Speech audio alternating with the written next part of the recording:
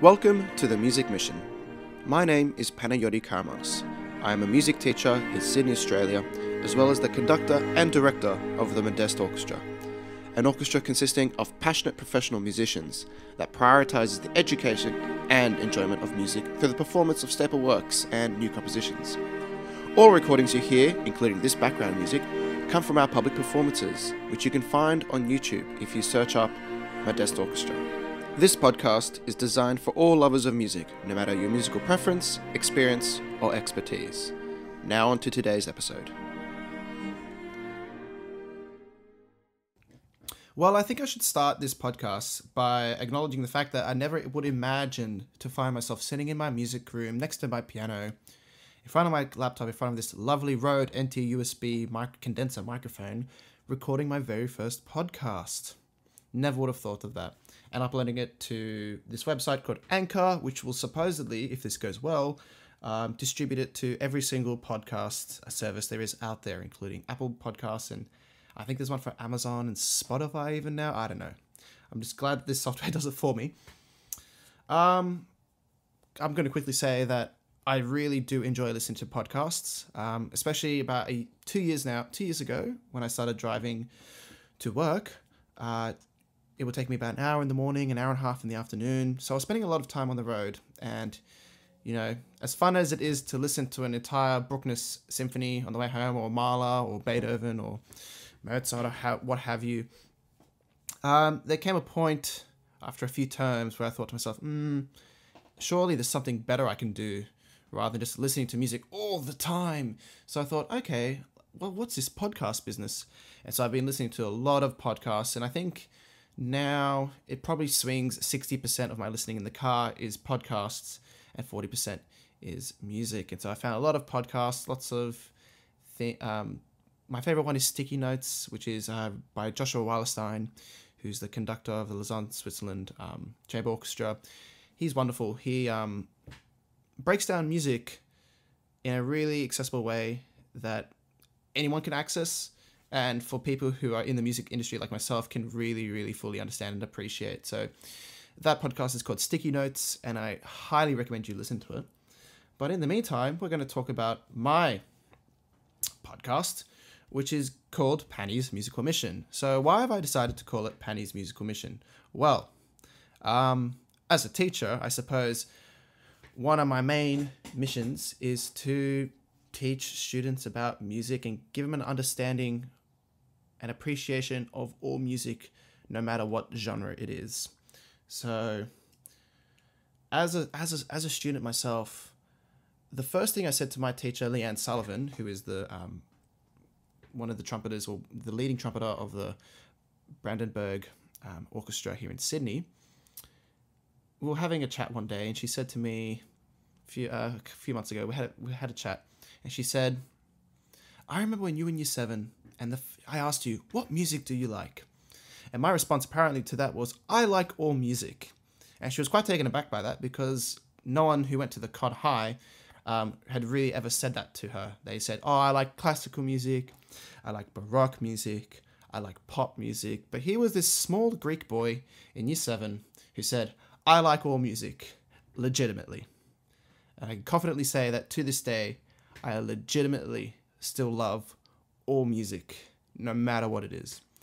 And that's basically one of my missions in life, I suppose, is to help my students have that same love of music for the sake of music and not and get rid of this elitism of like oh i only listen to this type of music because it's really highly um, intellectual or i only listen to this kind of music because it's a mad beat just music for the sake of music is kind of where i come from so that's this podcast and i guess the aim will be for me not to do this solo um, but to interview various people around Sydney and just have a discussion with them. So the first one we're going to do next week will, will be with Amber Johnson, who is also um, a classroom teacher here in Sydney and a choral director. So we're very similar in um, our skill sets as well as our beliefs, and we're very good friends.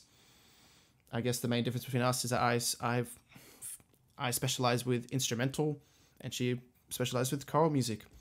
And so that'll be a fun podcast to do next week. The aim will be to have each podcast every Saturday and Sunday. So I think now is a good opportunity for people to know who I am.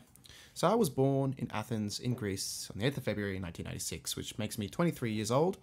And yes, that means next Saturday I'm 24, which is really, really exciting. And I'm going to have a birthday party with my friends, which will be nice. Uh, we'll go out. Uh, I came to Australia when I was nine months old. So I was, you know, a baby. I grew up here. And a fun fact um, that not many people know, but I guess now the whole world will know because I'm putting this on the podcast, was that I struggled to differentiate between Greek and English. And as a result, I almost created my own hybrid language. So, in order to fix this, the speech therapist said to my parents, You have to speak one language. And because you're in Australia, guess what? You're speaking English. Um, it didn't really affect me later in life because I can speak Greek now. So, there's no issue with that. And yeah, I went to a normal public school. I went to Clemton Park Public School, which has a very high Greek demographic. I think the school's 80% Greek. And I remember my first day in kindergarten. I went to the school, a kindergarten orientation day, if that's an actual thing. And I remember seeing the school band just um, just in the center court playing some music. And I remember the first thing that went to my mind was, oh my gosh, this is the coolest thing ever. They have a band? Oh my, I, I need to join the band as soon as I can. So I took keyboard lessons in year two. And then in year three, I went to join the band because that was the year that you started playing in the band. And for some reason, I think about 60 people in my year decided to also join the band. And our teacher, Mr. Jarek at the time, said, There are too many people joining the band. So, what we're going to do, we're going to start a recorder program. And that recorder program must have been really bad because only three people went came out of that and continued with band. And it, um, the three of us all ended up picking trumpet.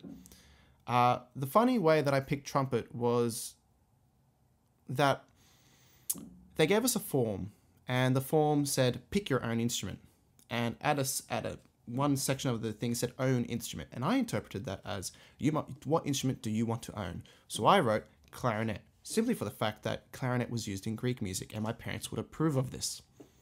And yes, I had actually forged this signature in year three because I knew my parents would not approve of me taking home an instrument. I then rocked up to the instrument trials, and Mr. Jarek said, It says here you have your own clarinet. I said, No, I want to play clarinet. He looked at me, realized, Ah, this kid does, doesn't realize.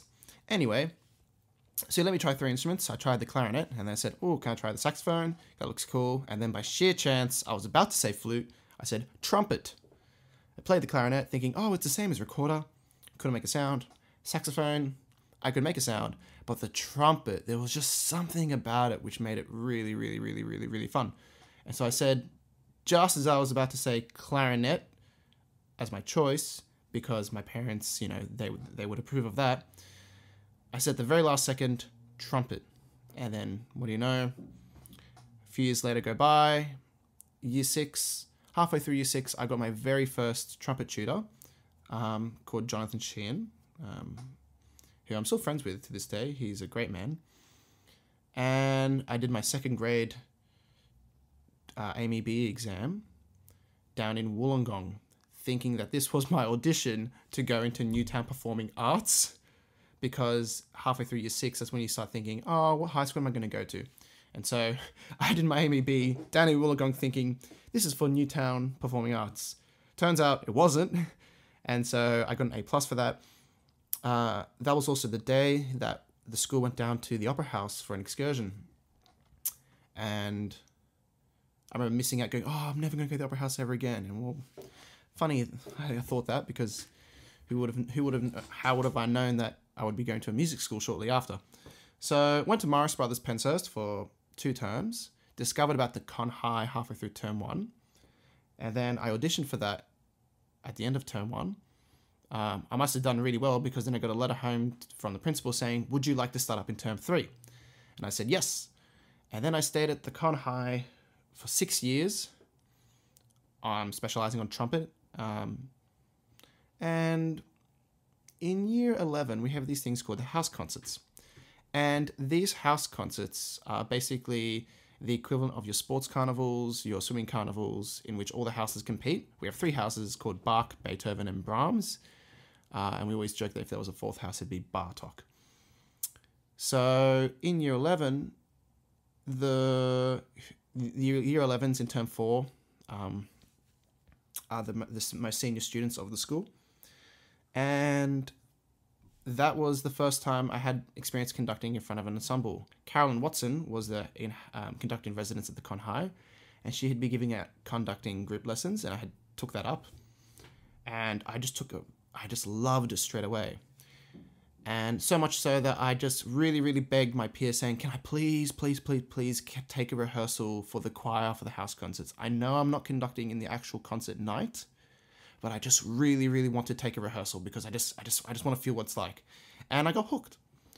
Um, then I went to uni to do music education, and funny story. Um, as you, so everyone has to do orchestral studies and or performance credits of some sort, and so I auditioned for the orchestra, and uh, the excerpt was Benjamin Britten's guide to a young person's guide to the to the orchestra and the trumpet excerpt, which was dun dun dun dun dun dun dun uh, was was one of the set was one of the set works. And for some reason, I allowed myself to get convinced by another trumpeter in my year saying that, oh no, it's actually at this speed. Ta ta ta ta ta ta. So I played it. Obviously, that was less than half the speed. So I didn't get into orchestra. So I thought to myself, oh golly, I'm stuck between a rock and a hard place. What do I do? I don't want to join choir because I did six years of that in high school. I've had enough of it oh wait, I can do conducting. How, how, how did I miss this? And so it was just a tiny little flyer in the hallway that just caught my eye as I was like mulling over this, thinking, oh my gosh, what am I going to do? I totally stuffed up my audition. So I auditioned for the conducting, got in, and after that, I just kept pursuing conducting. So at the end of the first year, uh, I formed. So this is now, I guess, the story of Modest Orchestra and how we formed, uh, previously known as Modest Orchestra. Um, so in first year in 2015, we I put on a concert. I got together an orchestra, and by orchestra I mean like inverted quotations or orchestra, of 17 people, 17 friends, and we played Greek music, orally transcribed by myself and Benjamin Safir, uh, arranged always by me, Ben would off. I think Ben Ben actually yeah no Ben arranged a whole piece by himself, and they said to him, "Can you can you please get this line? I can't hear it." And so that went off really well. And in 2016, a year later, um, in November, I said, "Hey, why don't we do pictures at an exhibition?" And everyone thought I was crazy, saying, "Penny, you can't get an orchestra together to do pictures at exhibition." And I guess stub. I was just too stubborn. Um, they say ignorance is bliss, and in this situation, it was because everyone was saying you can't get an orchestra together, and somehow or other, um, I did. I spent many hours, many hours in the cafe, just socializing with people, many hours a day, messaging people, working really hard around the clock. Spent many hours every day analyzing scores, listening to as many different recordings as possible, analyzing people's conducting. And then on the 26th of November 20, uh, 2016, we performed Pictures and Exhibition, along as uh, as well as two other works, um, Juvenilia by Benjamin Safir, as well as Le Space by Kirsten Milenko. And that was actually the birth, really, of Modest Orchestra. Um, to explain the name of Modest Orchestra, it reads as modest, and everyone calls it modest within the orchestra because we actually always called it modest. But people started to think, oh, is it because you're a bunch of modest players and you're small? I was like, no, that's not the point. The point is, our first concert that we did was Pictures and Exhibition by Modest Mussorgsky. So there lies in the pun. So now we pronounce it Modest, but it's still spelt modest. So now we have a pun in our name. 2017, we did a wind band in July for the first time, and then we did Scheherazade as well as many other pieces at the end of that. The year later, we did Dvorak halfway through, and then we did uh, 1812, Sorcerer's Apprentice, um, Beethoven Piano Concerto, um, The Emperor number five, and 2019, which was last year, we did uh, we did a performance of Clara Schumann's piano concerto for Clara Schumann 200th anniversary, and we also did an, our very first education concert uh, at Kambala, which was very very exciting. And this year, we're hoping to do the same thing and open it to as many schools as possible um, to do this education concert called Symphonic Education Encounters. Uh, I call it the Encounter Series. A lot of people just call it SEE or C, and make that open to the public. We've got a few programs planned throughout the year. We're going to do a concert in July. We're still coming up with a name, but so far, a couple of names that are coming to mind are A Journey of Heroes, because we're doing Lord of the Rings, Beethoven, Egmont, Overture. We're also doing a new work by Stuart Rinn called Schoolyard. Uh, it's a very, it's, it's, it's kind of a hero's tale. And then we've got um, a concert in December that's coming up where we're going to play uh, the Nutcracker Suite, the full thing, because turns out no one really in Sydney has ever really done the whole thing. Everyone's just, just done excerpts here and there or done it in, in, in auditions. So that's a bit of an overview. And oh my goodness gracious me, this chair is really squeaky. So I know that for the next episode, I'm definitely not going to use this chair again. So I'm sorry if it's squeaky and if it's really annoying, but there's not much I can do this episode. So that's a bit of an overview of Modest, the orchestra, and how I um, built that up. Um, we now have about 200 people in our database. We've made a musician database, which is both amazing and also a bit creepy. Um, basically, it contains information, just just very basic information, their name and their instrument, which is pretty pretty pretty simple. But you know, when when you're in the heat of the moment, thinking, "Oh no, golly me, I need a violinist," we can now go and pick violin and oops, don't bump the microphone, Penny. You can just pick violin, we'll give you a list of all our violin players. And we use Notion, the app that all the creators on Facebook and YouTube and Instagram and everything have been raving on about, and I can rave on about it as well, saying that Notion is great. I'm very fortunate with my music experience in that I've kind of experienced as much as possible uh, for a 23 year old who's going on 24 next week. I've played in about 10 different musicals in different different places with different budgets from your you know your classic school production which has an infinite amount of budget and you know great sounding and lighting to your very um, low budget um, community uh, based uh, theater production company that's really far out west or really far out north or really far out south um, just really far out of the Sydney CBD in general. Um, so experiencing that um, I've learnt oh, I guess the mo- the most important thing that ever happened in university was that I became, uh, I didn't, I wasn't a single instrumentalist. I stopped playing just trumpet, so I started playing. I started picking up piano, so I got up to grade five piano. I started playing bouzouki more, which is that Greek crazy instrument that you hear in Zorba the Greek. I started to play guitar properly, um, so I can now play bar chords, um, bass guitar. What else do I play? Otamatone, which is the best instrument ever invented. I play euphonium, play trombone. Uh, I learnt piccolo trumpet, which is kind of useful. Uh, I'm now learning tuba. I have to do a performance of that in a few weeks. Oops, I bumped the microphone again. This is really bad placement. So I have to play tuba in a few weeks. Uh, I've got a violin. I've been teaching myself very slowly. I can play Twinkle Twinkle, and that's about it. And I guess I can make my way around a drum kit and do a simple swing beat and a rock beat, and that's about it. So, oh, I should talk about this uh, one project that comes to mind in terms of just my musical um, experience in Odysseus Live. So this was a very, very, very, very fun project that uh, we've done twice. First time was when I was in second year. I want to say first, but I feel like it was in second year. Um, it was second year um, in which this awesome, amazing slam poet called Luka Lesson decided to do a retelling of of Odysseus. Those are the tales within. So of like the of like the Cyclops and the sirens and the bow. And it's very you know or this Homer's Odysseus. All those stories, all those Greek stories, they're great. And uh, he's been redone in a pop fusion of orchestra of like Western music fused with hip hop, with spoken English but also spoken ancient Greek and spoken modern Greek. So it was just this really cool experience of many different things coming together for an amazing, amazing, powerful performance. And me being a lover of all music was just overwhelmed, going, "Oh my goodness gracious me, this is this is the coolest thing I've ever done!" And wow, I'm lucky to be playing trumpet in this. And then fast forward a few years later, in 2018, we took the Modesta Orchestra down to Melbourne and we did uh, an industry showing of that. So the first time they did it, James Humberstone was conducting.